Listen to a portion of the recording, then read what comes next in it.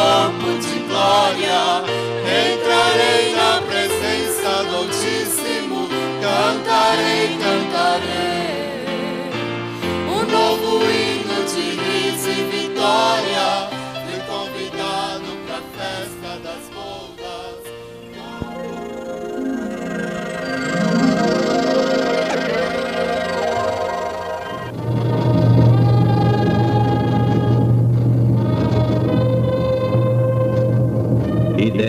Criou o mundo. Criou o céu, a terra, as estrelas e o mar. E Deus fez o homem e deu a ele a fé, a esperança para se reencontrar nos momentos mais difíceis.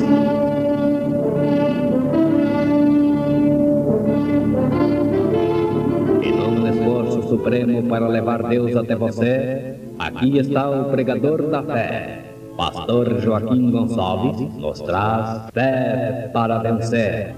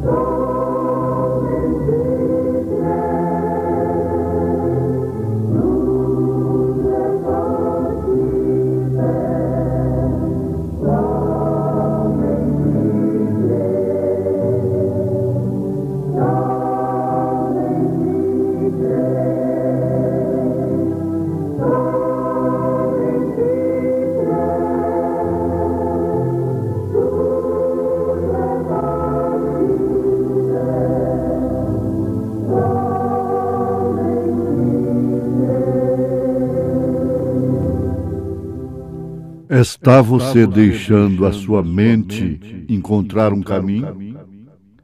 Portanto, se há algum conforto em Cristo, se há alguma consolação de amor, se há alguma comunhão no Espírito, se há alguns entranháveis afetos e compaixões, completai o meu gozo, para que sintais o mesmo, tendo o mesmo amor, o mesmo ânimo, sentindo uma mesma coisa. Irmã Marina canta em momentos do tabernáculo da fé. Amor com amor cristão.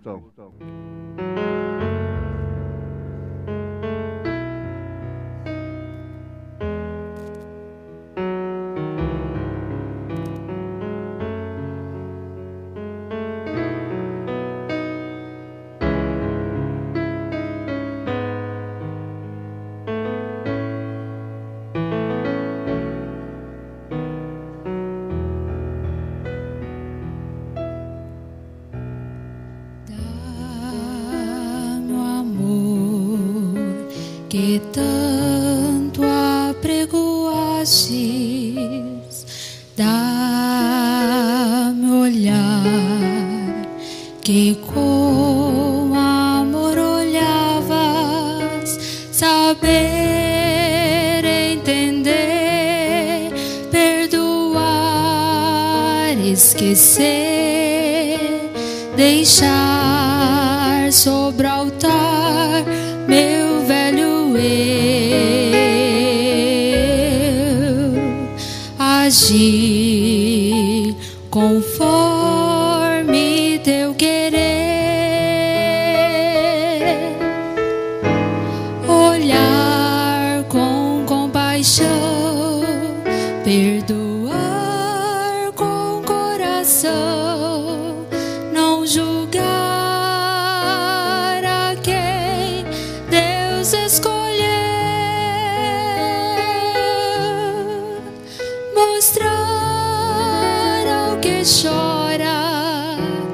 que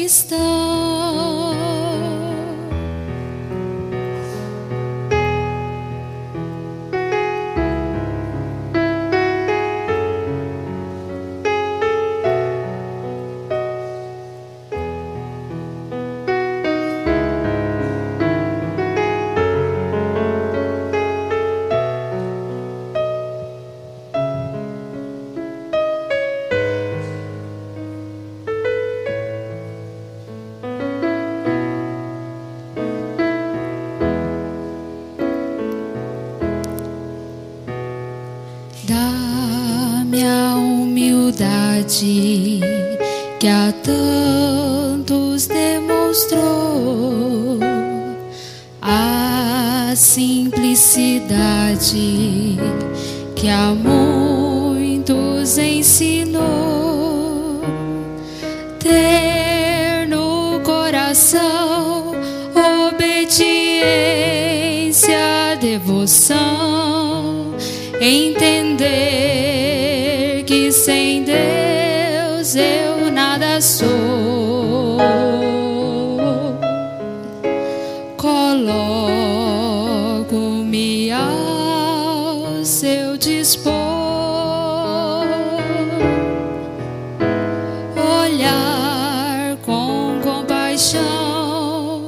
perdoar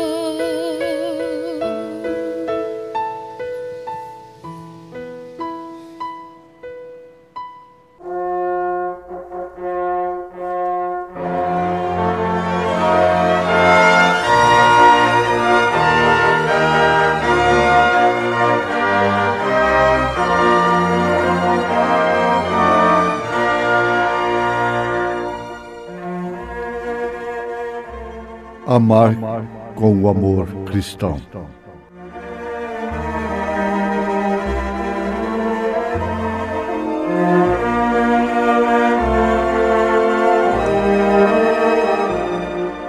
Está você deixando a sua mente encontrar um caminho?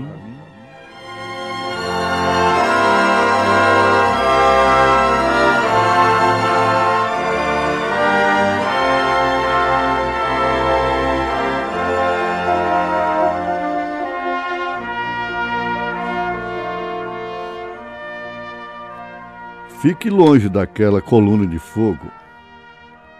Que lição aprendemos aqui? Vem, todos querendo ser um Moisés e todos querendo ser um Josué. Uns querendo ser Moisés, outros querendo ser Josué. Vamos para a pergunta do profeta, que é o destaque desta programação. O desvelar de Deus. Está você deixando a sua mente encontrar um caminho? Aqueles homens, embora sendo israelitas e tendo visto tantos milagres, reconhecendo Deus podia falar com Moisés no lugar deles. Eles não queriam morrer. E, na verdade, acabaram morrendo. Se tão somente permanecessem no temor de antes, eles não teriam morrido. E aquela gente da congregação deles também não teria sucumbido.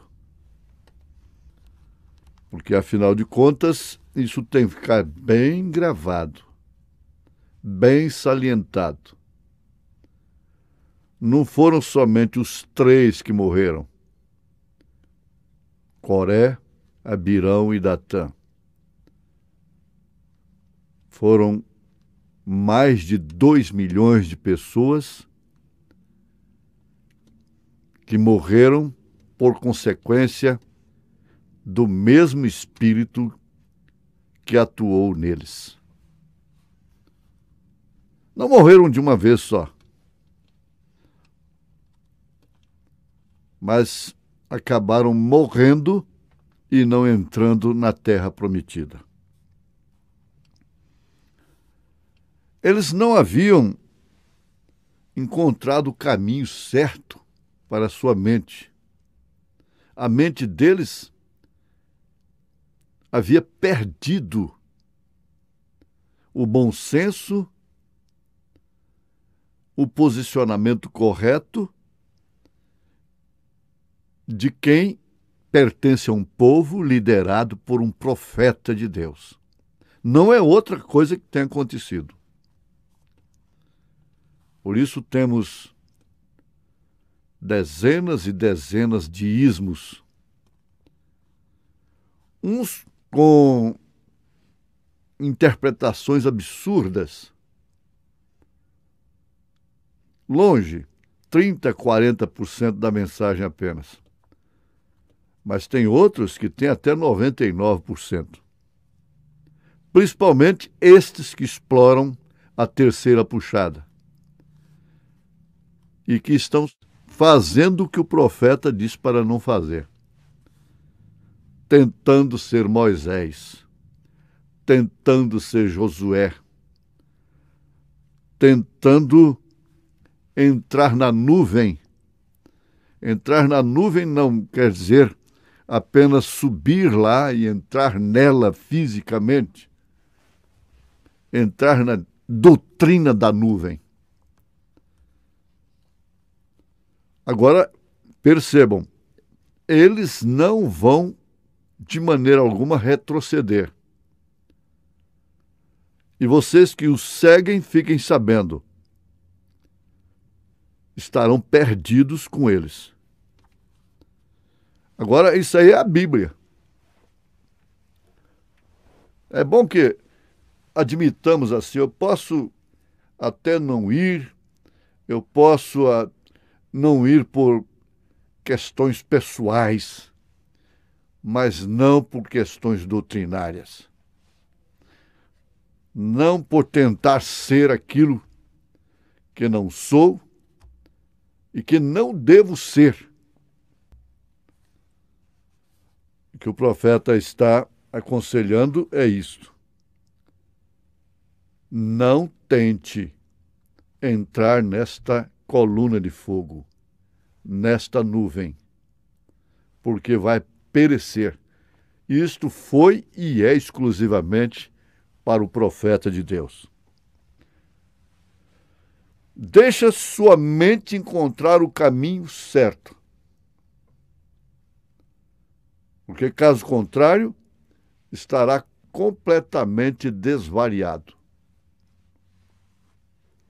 Quando Deus apareceu a Moisés, isto foi em uma coluna de fogo.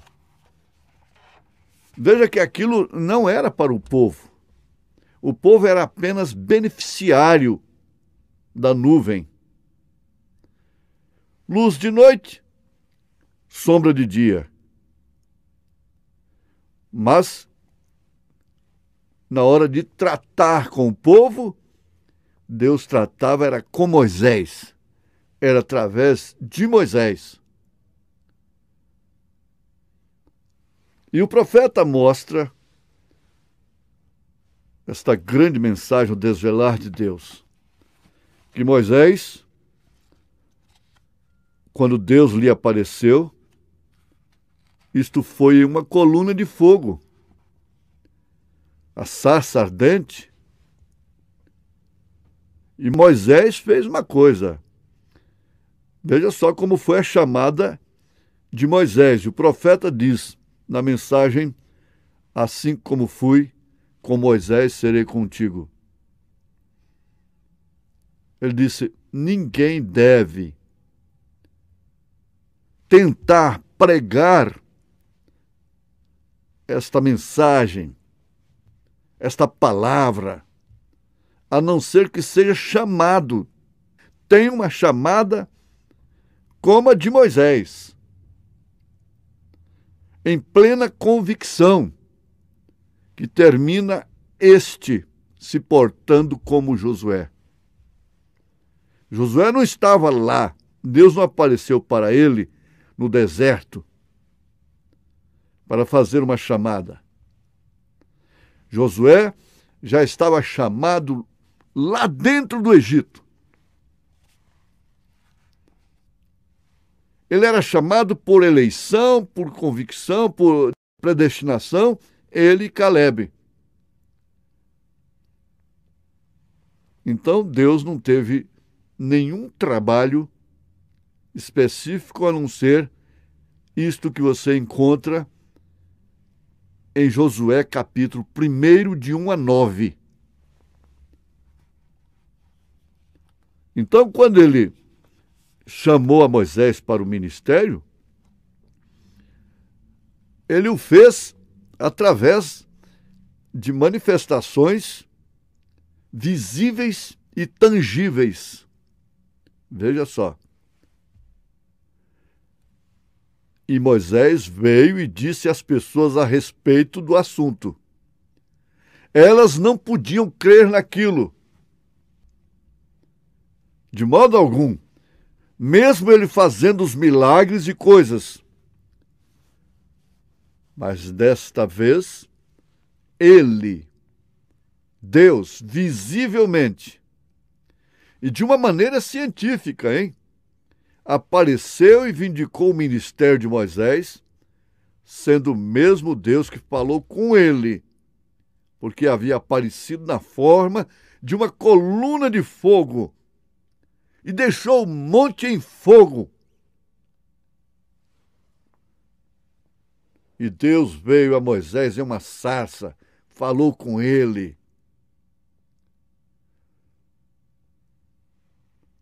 Coré Abirão, Datã, não estavam lá, naquela chamada direta de Deus.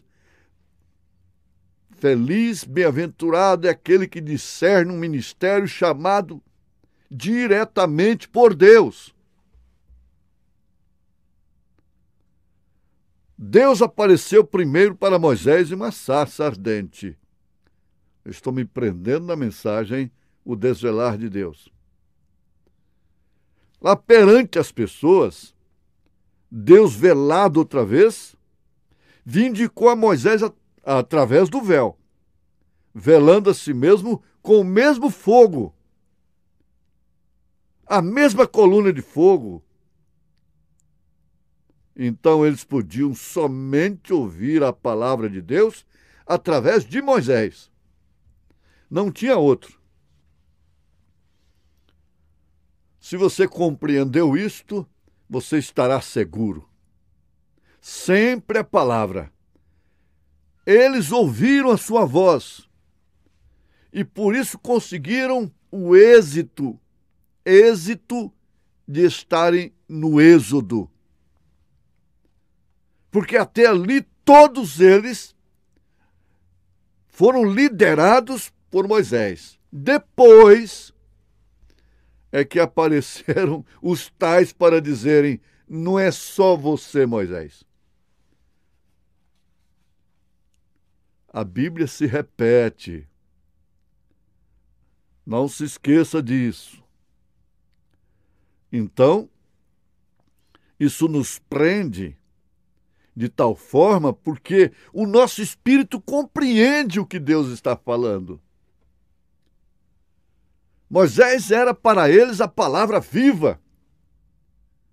E por que tiveram de perecer, de morrerem, sem chegarem lá na terra prometida? Qual foi a decepção que eles tiveram enquanto obedeciam a Moisés? Nenhuma mesmo com o mar diante deles. A coisa abriu, o caminho abriu.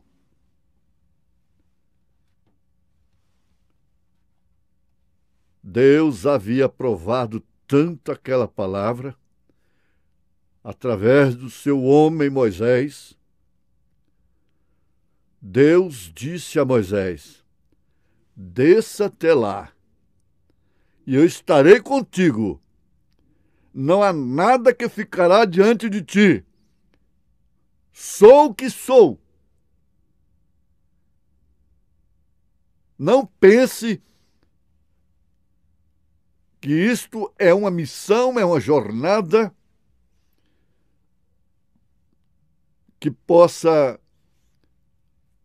ser empreendida, vivida através de mente humana, estratégia humana, armas humanas. Não. Isto é uma jornada sobrenatural. A coisa é pesada. Tem que sair do jugo de Faraó, tem que sair dos sistemas religiosos chamados cristãos. Tem que sair. E foi o que eles fizeram. E fizeram muito bem. Muitos corriam bem, mas agora longe estão, diz o poeta. Moisés desceu, depois de ouvir com tamanha convicção: sou o que sou. Ele desceu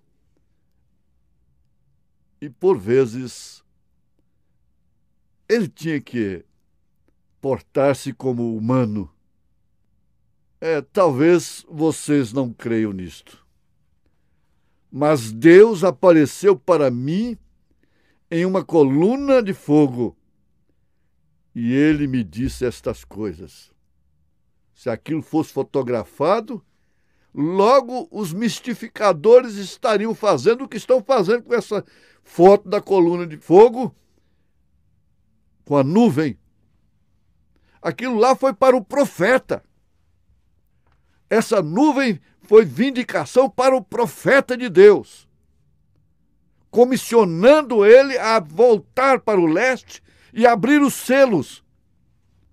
Mas os que querem ser Moisés, querem ser Josué, cometem a mesma loucura de Coré, Abirão e Datã. Moisés desceu e disse: Talvez vocês não creiam, mas isto é assim, diz o Senhor. O irmão Brana recebeu a visita desses sete anjos que formaram a nuvem aquela nuvem fotografada nos Estados Unidos, que saiu na revista Life, os sete anjos, a teofania deles, dos mensageiros, comissionando a voltar para o leste e abrir os selos. Então isso não é para mim, não é para. Aquilo se cumpriu no profeta nós somos beneficiários desta nuvem, como todo Israel foi beneficiário da nuvem. E a hora que ela saiu de cena? Eles atravessaram o Jordão sob nuvem? Não, a nuvem foi para Moisés. Agora era a arca, falando do coração de cada um. Em nome de Jesus Cristo. Eu sei que o eleito rejubila, se satisfaz, se encontra, tem sua mente no caminho certo. Em nome do Senhor Jesus Cristo. Amém, Senhor. Amém.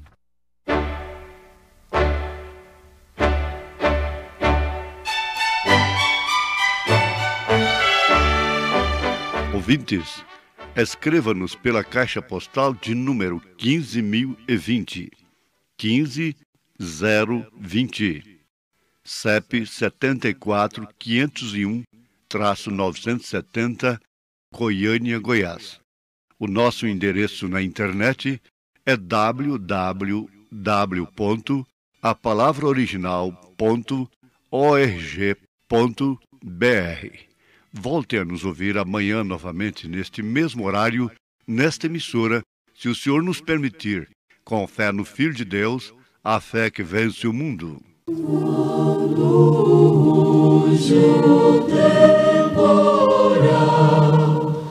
Quando